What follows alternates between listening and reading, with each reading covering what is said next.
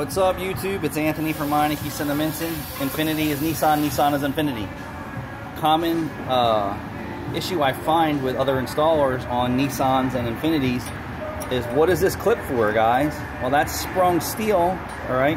And that's supposed to fish through the little hole right here. A little eyelet.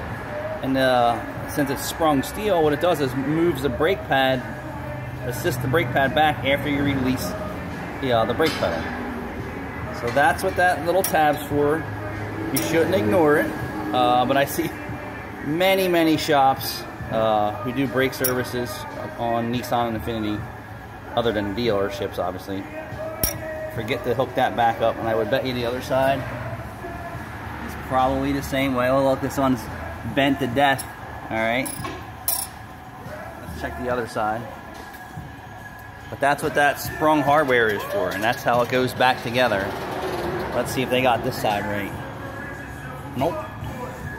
They must have busted it off or took it off or they have the pads uh, in different locations. Thanks for watching.